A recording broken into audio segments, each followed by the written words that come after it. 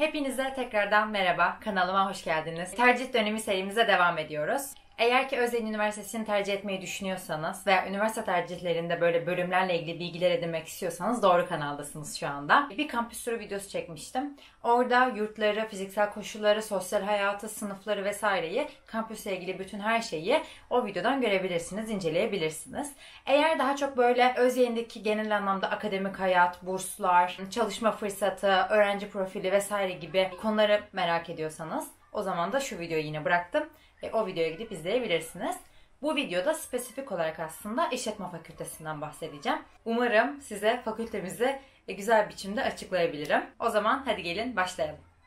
Öncelikle ben kısaca eğer diğer videoları izlemediyseniz kendimden bahsedeyim. Ben Cenen Koçak, Özyeğin Üniversitesi'ne 2016 yılında girdim. Şu anda Uluslararası İşletmecilik ve Ticaret okuyorum. Aynı zamanda da gastronomi ve mutfak sanatlarından yan dal yapıyorum. Okulda 5. yılım bitti, 6. yılıma girdim. Bir yıl okulumu yan dal ve Erasmus'um sebebiyle uzattım. E, üniversiteye girerken ben TM3'te 15 binden girmiştim. Tam bursluyum. Puanımı hatırlamıyorum. Çünkü o dönemde puanıma dikkat etmemiştim. Sıralamayla sadece girmiştim. Fakat bildiğim kadarıyla şu anda sıralamalar çok çok yükselmiş. Eğer ki Özyeğin'i puanınız tutuyorsa öncelikle tebrik ederim. Şimdi sıra sıra birazcık spesifik Özyeğin bilgili aslında İşletme Fakültesini veya İktisadi ve İdari Bilimler Fakültesini tanıyalım. İşletme Fakültesi çok geniş bir alan. Yani mesela atıyorum hukuk okuyan insan avukat, savcı, hakim veya hani adalet sistemiyle ilgili bir şeyler yapmak zorunda. Mimar olan bir insan spesifik olarak mimar oluyor. Ama işletme bölüm böyle değil. İşletmeden mezun olup farklı yan dallarla veya çapla bir mühendisin yaptığı bir işi de yapabilirsiniz. Veya bir reklamcının yaptığı işi yapabilirsiniz. Belki bir gün bir gazetecinin yaptığı bir işi bile yapabilirsiniz. Bu kadar açık bir alan, bu kadar açık bir fakülte. Şimdi ben kendim sayısal güçlerimin çok yüksek olmadığının farkındaydım. Yani okulda fizik özellikle ya da yüksek matematik dersini almak istemedim. Bu yüzden mühendislik okumak istemediğime eminim. Ne bileyim mühendislikteki bir öğrenci kadar fazla böyle sayılarla boğuşmuyoruz ama biz de matematik dersi alıyoruz. Tabii ki bir psikoloji öğrencisi kadar çok fazla sayfalarca bir şeyler okumuyoruz ama biz de okuyoruz. Yani aslında gerçekten çok karma bir bölüm diyebilirim. Ben endüstri mühendisi bir arkadaşımı gördüğümde evet ona benzer böyle matematikte tabii ki onunki kadar ağır değil ama benzer bir ders alıyorum. Psikoloji deki arkadaşımı gördüğümde ona benzer bir şekilde sayfalarca bir şeyler okuduğum dersimde oluyor. Uluslararası ilişkiler okuyan arkadaşımı gördüğümde onun gibi biz de böyle küresel daha böyle politik bir ders aldığımız bir ders de oluyor. Yani dediğim gibi çok karma bir fakülte diyebilirim. Ben daha böyle her alandan bir şeyler öğrenmek istiyorum. Yani derslerde işte operasyon da öğreneyim, tedarik zinciri de öğreneyim, pazarlama da, finansta, muhasebede, işte yöneticilikte, girişimcilikte vesaire gibi çok geniş böyle bir perspektifte bilgiler öğreneyim ve ona göre aslında 3. ve 4. sınıfta alanıma karar vermek istiyorum diyorsanız hani ben tam olarak şu anda spesifik olarak bir karar veremiyorum diyorsanız bence işletme fakültesi en doğru fakülte. Bazen mezun olduğunuzda atıyorum endüstri mühendisleri işletme fakültesine göre sizden öne çıkabiliyor. Ama siz seçmeli derslerinizle, yaptığınız stajlarla, odaklandığınız konularla, kendini geliştirmenizle onları belli bir noktada yakalayabiliyorsunuz. Bunu da bilin. O yüzden illa ki hani benim işte title'ım hani mühendis olsun kafasıyla mühendisliğe girip de 7 senede mezun olacağınıza onun yerine işletme fakültesinde okuyup dışarıdan kendinizi geliştirmenizin ben daha mantıklı olduğunu düşünüyorum. Eğer Özyeğin sitesine veya diğer üniversitelerin sitesine girerseniz zaten yani hakkında ya da değerlerimiz, misyonumuz kısmında işte gelişen dünyamızda lider yetiştirme bazında işte şu şekilde öğrenciler yetiştiriyorsunuz vesaire gibi bir sürü böyle resmi yazılar var. Onları okuyun. Zaten orada da kafanızda bu bölümler netleşir. Bütün üniversitelerin işletme fakültelerinin sayfalarında yazar. Gelecek dünyaya yani yeni liderler hazırlıyoruz diye. Evet ama hani belli bir noktada hepiniz de CEO olmayacaksınız ya da olmayacağız. Bazen şirketlerin CEO'ları mühendis de olabiliyor. Şirketlerin CEO'ları belki reklamcı da olabilir. İlla siz işletme okuduğunuzda ben herkesi yöneteceğim kafası falan öyle bir şey yok. Bunu da bir söyleyeyim dedim. Çünkü işletme okuyan insanların ben CEO olacağım kafasıyla bölüme girmeleri, sonrasında staj yaparken gerçek hayatla tanışmaları, hele de mezun olduklarında böyle asgari ücretle başladıktan sonra gerçek hayatta tanışmaları daha acı verici oluyor. O yüzden şimdiden bunu bahsetmek istedim. Hiçbir bölümde sizin ileride müdür olma, yönetici olma, CEO olma garantiniz yok. Bu tamamıyla size bağlı. Ben uluslararası işletmecilik ve ticaret bölümünü seçmeden önce inanılmaz kararsızdım. Yani elimde belli bir puan var belli bölümlere tutuyor. Ben de işletme fakültesinde okumak istediğimi biliyorum. Ama O fakültenin içindeki bölümlerin arasındaki farklar ne? Hiçbir fikrim yoktu. Gerçekten okula girince öğreniyorsunuz bu farkların ne olduğunu veya piyasaya girince aslında. Şimdi gelin işletme fakültesinin bölümlerine ayrıntılı ayrıntılı bir bakalım. Bizim okulumuzda işletme, ekonomi, uluslararası finans, uluslararası işletmecilik ve ticaret, girişimcilik ve yönetim bilişim sistemleri bölümü var. Bütün okullarda zaten bu bölümler aynı değerleri, aynı donanımı size veriyor. Eğer ki atıyorum ekonomi bölümünü tercih etmek istiyorsunuz. Hem internet sitesinde zaten hakkında kısmında evet o bölüm ayrıntılı bir biçimde anlatıyor ama hem de internete Özyeğin Üniversitesi işte ekonomi ders planı şeklinde yazdığınızda çıkan ders planında zaten ki çoğu okulda da bu ders planı gözüküyor internet sitesinde 4 yıl boyunca ayrıntılı bir biçimde hangi dersleri alabileceğinizi ve seçmeli ders olarak da hangi seçmelilerin size açıldığını görebilirsiniz. Böylece aslında nasıl bir eğitim alacağım, hani nasıl dersler göreceğim, nasıl bir yetkinlik edineceğimi aslında bu ders planından çok net bir biçimde hissedebiliyorsunuz. Bu ders planları üzerinden gidip bu farkları konuşmak gerekirse bizim okulumuzda işletme fakültesindeki bu 6 bölümün ilk 2 yılı tamamıyla aynı. Yani kimsenin hiçbir farkı yok. Biz bütün fakülte boyunca karma bir biçimde bu derslere giriyoruz. Kimsenin birbirinden ikinci sınıfın sonuna kadar hiçbir farkı olmuyor. Bizler kendi bölümlerimizde aslında 3. ve 4. sınıfta spesifik olarak yoğunlaşıyoruz diyebilirim. İlk 2 yıl boyunca bizim aldığımız dersleri şöyle üstten bir sayayım. Yani bütün işletme fakültesi boyunca hangi dersleri alıyoruz? Bütün okul spesifik zaten İngilizce dersi bir alıyor. İngilizce işte bir İngilizce 2. Bir Türk Dili ve Edebiyatı derslerimiz var. Bütün okul bunu aynı şekilde alıyor. Yani bu fakülte özelinde değil İngilizce ve Türk Dili ve Edebiyatı derslerini bütün okul birinci sınıfta herkes alır istisnasız.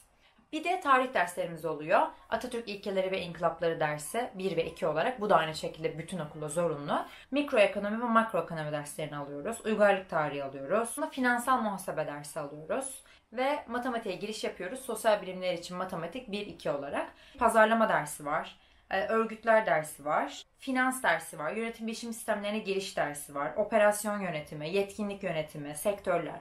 Bence en güzel ders bütün okula zorunlu olarak verilen psikoloji hariç Business 101 dersi. Ben bu dersin asistanlığını bile yaptım. Sizin birinci sınıfta Excel öğrenmenizi sağlıyor. Belli konular altında yani accounting, muhasebe, finans, statistik başlıkları altında Excel üzerinden verilen case'lerle size hem işletmedeki bu alanları tanımanızı hem de bu alanlardaki yapacağınız data çalışmalarını Excel'den öğretiyor. Mükemmel bir hocamız var Jason. E, fakülte öğrencilerine auditoriumda bu konuları anlatıyor size gerçekten bir beyin jimnastiği yaptırıyor. Ardından lab dersleri oluyor. Lab derslerinde de hocanın asistanları derse giriyor ve siz 2 saat boyunca hocanın anlattığı konuları Excel üzerinden çalışıyorsunuz. O an Excel'deki formülleri öğreniyorsunuz ve Excel üzerinden aslında bu konuları çalışıyorsunuz. Bence muazzam bir ders. Çoğu okulda yok. Bu yüzden Özyeğin öğrencileri piyasaya çıktığında Excel biliyor olarak çıkıyorlar. Eğer ki bu derse dikkat ediyorsanız ki çok dikkat edin çok faydalı bir ders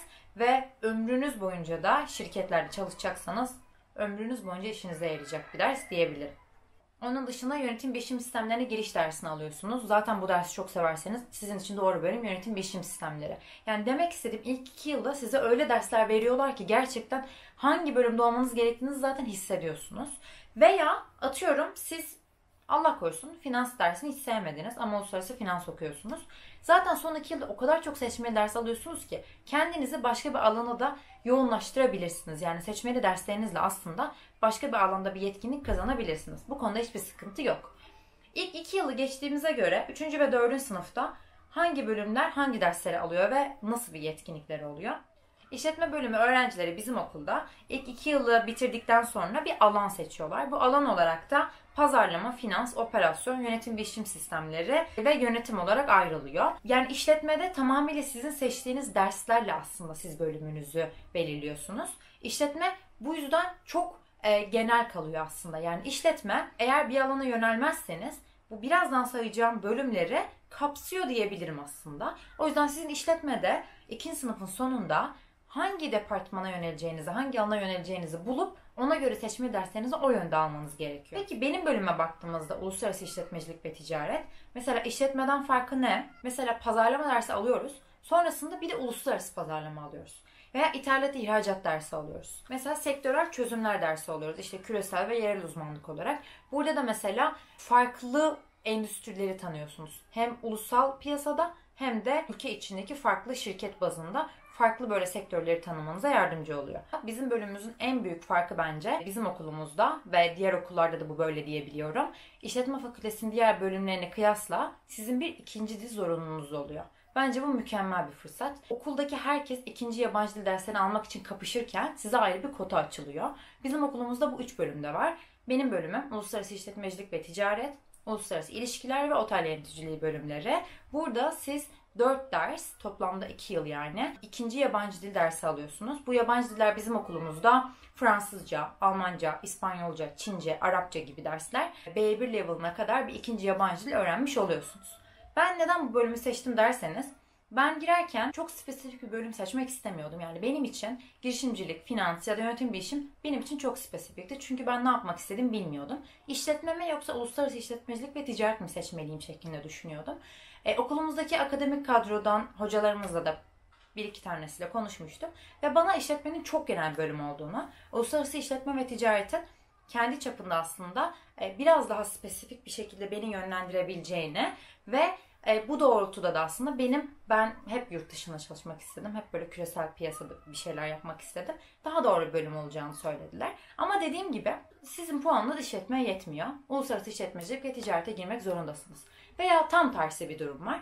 Yani sonunda ölüm yok. Çünkü zaten ilk iki sene aynı dersleri alıyorsun ve üçüncü ve dördüncü sınıfta da toplamda her dönem üç ders seçmeli ders alıyorsun. Zaten her dönem beş ders verdiğinizde o dönemi geçmiş oluyorsunuz. O yüzden zaten siz 5 dersin 3 seçmeli olduğu için bu seçmelilerle kendinizi o alana yönlendirebilirsiniz. Bu yüzden hiç sıkıntı etmenize gerek yok. Sırada bir diğer bölüm girişimcilik bölümü. Girişimcilik bölümünde de yine aynı şekilde 3. ve 4. sınıfta teknoloji ve inovasyon yönetimi, ya da işte işletme entegrasyonu, sektör uygulama gibi dersler var. Bizim okulumuzda bence girişimcilik okuyacaksanız çok güzel bir yine bir katkısı var ki bizim okulumuzda bir girişimcilik merkezi var. Direkt okulumuzun içinde.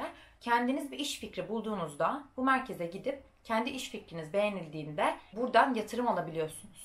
Tabii ki bir X çekirdek değil ama inşallah büyüyecek ve sizin fikriniz beğenildiğinde ve yatırım almak istediğinizde bu Hüsnü Özyeğin'e kadar gidiyor ve onun bile e, yatırım yaptığı okulumuzun girişimcileri var diyebilirim. O yüzden eğer siz ben girişimci olmak istiyorum, ben ileride kendi işim patronu olmak istiyorum, ben işte yeni bir şey yaratmak istiyorum sıfırdan vesaire kafasında yani girişimci ruhu olan bir insansanız bence Özyeğin inanılmaz doğru bir kurum. Zaten okulun mottosu e, Özyeğin hayatınızın girişimi diye.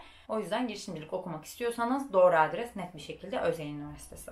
Bir diğer bölüm ekonomi. İşletmeyle farkı ne? İnanılmaz farklı bir bölüm. Ekonomi bir bilim. Şimdi işletme uygulamalı bir dalken ekonomi tamamıyla bilim. Yani siz ayrıntılara takılmadan daha bütünsel bakmanızı sağlıyor aslında ekonomi. Siz ekonomide daha fazla araştırma yapacaksınız işletmeye göre. Siz daha böyle piyasaları takip etmek istiyorsanız, dünyada ekonomide neler oluyor diye merak ediyorsanız ekonomi çok doğru bir bölüm. Ama siz diyorsanız ki ben yok, ben daha çok şirketler ne iş yapar, sektörler, işte bu departmanlar vesaire kafasındaysanız Ekonomi çok sizlik olmaz. işletme daha doğru bir seçim olur diyebilirim. Bölüm uluslararası finansa geldiğimizde eğer ki para piyasalarına, bankaya vesaire ilgiliyseniz o zaman sizi ekonomiden ayıran şey uluslararası finans bölümü olur. Bu arada uluslararası finans için şöyle de güzel bir şey var. Bizim okulumuzda 3,5 e, üstü ortalama yaptığınızda yurt dışında 3 hafta kadar size bir Credit Europe Bank'ta e, staj yapma hakkınız oluyor. Ve bu da bence finans öğrencileri için tabii ki diğer öğrenciler de gidebiliyor ama özellikle finansçılar için bu bankada staj yapmak inanılmaz güzel bir fırsat diye düşünüyorum. Şimdi son bölüm olarak yönetim bilişim sistemleri hepsinden apayrı bir bölüm. Bence yönetim bilişim sistemleri işletmenin ve bilgisayar mühendisliğinin karışımı. Gerçekten bilişim teknolojilerine ilgiliyseniz. Hani kod yazmak sizi ürkütmezse. Ya çok tam olarak kod yazmayacaksınız bir bilgisayar mühendisi kadar. Mesela şirketlerdeki daha veri kısmında, data kısmında çalışabilirsiniz. Bu alanlarda yönetim bilişim sistemleri öğrencilerini tercih edebilirler. Çünkü birazcık yazılımdan anlıyor olmanız, birazcık daha böyle datalarla ilgileniyor olmanız şirketlerin tercihidir mesela. Ya da şirketlerdeki daha böyle bilgisayarcılarla yani IT departmanlarına yer almak istiyorsanız kesinlikle işletme fakültesindeki bütün bölümlerden daha da öne çıkmanızı sağlıyor. Bu noktada bilişim sektörünü seviyorsanız veya bilişim alanına yönetim bilişim sistemleri sizin için e, çok doğru bir bölüm diyebilirim. Şimdi işletme fakültesi bazında okulun zorluğu, bölümdeki İngilizce vesaire. Bizim okulumuzdaki bütün bölümler 4 yıllık bölümler ve hepsi %100 İngilizce. Bazı okullarda gördüğüm üzere mesela derste yabancı bir öğrenci olmadığında, atıyorum derste 15 tane Türk öğrenci olduğunda hocaların bazen Türkçe'ye döndüğü oluyor.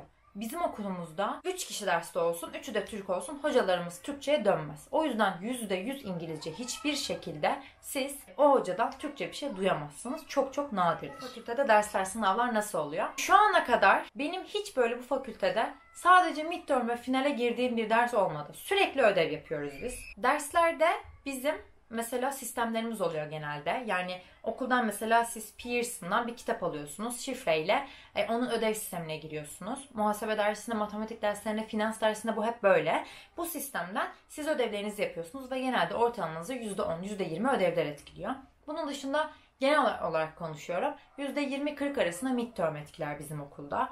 %25 işte 25 ile 50 arasında final etkiler. Bir de bunun dışında hocalar proje vermeye bayılırlar. Grup projesinde de bir şirket seçiyorsunuz veya bir sektör seçiyorsunuz ve bu ders bazında aslında bütün dönem boyunca hocaya böyle raporlama yaptığınız böyle yaklaşık 2 ayda bir yani dönemde böyle 2-3 kere raporu gönderiyorsunuz ve en sonunda final report'u gönderdiğiniz bir grup ödevi yapıyorsunuz. Bunu bizim hocalarımız bayılır. Bizler bazen grup ödevi yapmaya sinir oluyoruz. Ama gerçekten faydalı. Grupla çalışmayı öğreniyorsunuz. İnsan ilişkileriniz gelişiyor. Hiç tanımadığınız insanlarla grup olduğunuz oluyor ve belli bir sorumluluğunuz var. Ödevi sonuçta çıkarmak zorundasınız vesaire. Bu noktada bence faydalı mı? Uzun vadede faydalı grup ödevleri. Hele de siz grup çalışmasını seviyorsanız gelin Özyeğin'e yani. Çünkü çok yapacaksınız diyebilirim. Sınavlarımız ne şekilde oluyor? Okulumuzda genelde kapalı kağıt yani nasıl söyleyeyim bazı zor derslerde açık kağıt yapılır ve böyle istediğiniz gibi notlarınıza bakabilirsiniz. Ama bu zaten kazık derslerde olur. Kağıda ne kadar bakarsanız bakın zaten hani bir işe yaramaz.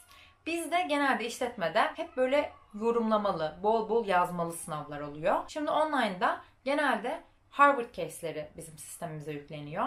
Biz Harvard case'lerini okuyoruz. Ve Harvard case'lerini okuduktan sonra ardından bir reflection paper yani onun özeti gibi kendi görüşlerimizi de eklediğimiz İngilizce bir paper yazıp sisteme yüklüyoruz. Çoğu dersimizde bizim bu şekilde sistem ilerliyor diyebilirim. Bence Harvard case'i okumamız da mükemmel bir detay. Çünkü gerçekten Harvard'da master yapan öğrenciler de aynı case'i okuyor ve siz de aynı case'i okuyorsunuz ve bu her okulun yaptığı bir şey değil. Bizim okulumuz bu case'leri satın alıyor hocalarımız. Bu da gerçekten mükemmel bir eğitim kalitesini gösteriyor diyebilirim. Şey sorusu gelmiş işte matematiğim iyi değil işletme okuyabilir miyim? Yani işletme çok böyle zor bir matematik dersi vermiyor ya da finans dersi çok ağır olmuyor. Ama işte dediğim gibi psikoloji kadar da çok okumalı bir bölüm değil. Çok karma. O yüzden hani korkmayın. Yani daha sosyal bilimler kısmınızda ve daha matematik kısmınızda da böyle ortalama bir öğrenciyseniz Gerçekten sizin için süper bir fakülte diyebilirim. Ama korkmayın. Mühendislik kadar hiçbir şekilde matematik zor değil. Eğer siz işletme okumak istiyorsanız sırf matematik dersi alacağım diye gidip de işte ne bileyim iletişim fakültelerine ya da sosyal bilimler fakültelerine kaymayın. İşletmenin matematiği çok çok ağır bir matematik değil. Korkmanıza gerek yok. Son olarak mezun olduktan sonra seçilebilecek alanlara geldiğimizde.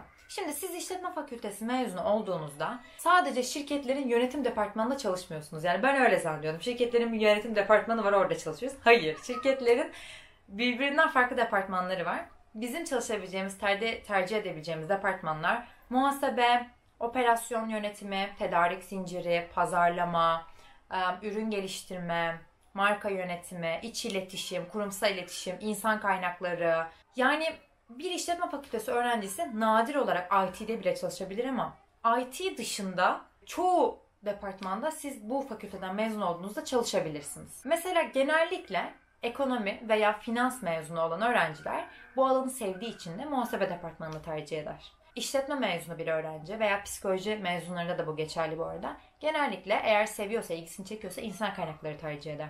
Fakat bu demek değil ki insan kaynaklarında sadece bu bölüm var. Ben endüstri mühendisliği okuyup e, insan kaynakları tercih eden arkadaşım da oldu. Veya bilgisayar mühendisliği okuyup sonrasında gidip pazarlama tercih eden arkadaşım da oldu. Elektrik okuyup dijital pazarlama tercih eden arkadaşım da oldu. Dediğim gibi bu tamamıyla sizin kendinizi geliştirmenize bağlı. Siz o seçmeli derslerinizde ilginiz neyse, neyi seviyorsanız, ne konuda yetkinliğiniz olduysa ve stajlarınızda da hangi departmanlarda staj yapıp o alanı sevdiyseniz o alana yönelebilirsiniz. Ben size spesifik olarak siz girişimcilik okudunuz. Bu yüzden ömrünüz boyunca girişimci olacaksınız. Kuluçka merkezlerine takılacaksınız diyemem. Siz girişimcilik mezunu olup sonrasında muhasebe departmanında çalışabilirsiniz. İşletme fakültesi okuduğunuz için size sürekli şirketlerin departmanlarından bahsettim. Bunun dışında farklı bir kariyere yönelebilir misiniz? Tabii ki yönelebilirsiniz. Ben mesela gastronomi yan dalı yapıyorum ve ben hayalim daha böyle restoran sektöründe çalışmak. Kendinizi hiçbir şekilde kısıtlamamanız gerekiyor. Eğer ki siz tam olarak spesifik olarak ben şu alanda şunu yapmak istiyorum kafasında değilseniz hiç pişman olmayacaksınız. Çünkü yaşınız büyüdükçe, staj yaptıkça ne yapmak istediğinizi anlıyorsunuz hangi sektörde bulunmak istediğinizi, hangi departmanda yer almak istediğinizi, nasıl bir hayat yaşamak istediğinizi anlıyorsunuz. Bu alanda zaten ikinci sınıfta veya üçüncü sınıfta bir yan dala veya bir çapa başlarsanız hele de istediğiniz alanda inanılmaz tatmin olursunuz diyebilirim. İşletme Fakültesi videom bu kadardı. Bu tercih dönemi serisi videolarım devam edecek. Takipte kalın. Bütün okulların şu anda tanıtım dönemi devam ediyor. Tanıtım günleri kapsamında okullara gidip veya bazılarının online tanıtım günleri de oluyor. Oradaki farklı öğrencilerle de konuşup e, onlardan da farklı bilgiler alıp kafanızda her şey netleşebilir. Hiçbir zaman puanınız neye tutuyorsa ona girmeliyim kafasında olmayın. Başka bir bölüm size daha uygun olup puanı sizin puanınızdan daha düşük olabilir. Siz kendinize uygun olan tercihi yapın. Benim puanım şu ve en yüksek puan da şu fakültede şu bölüm ben buna girmeliyim kafasına sakın girmeyin.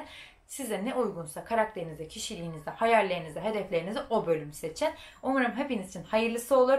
Tekrardan deyip bu videoyu kapatıyorum. Bir sonraki videoda görüşmek üzere. Bay bay.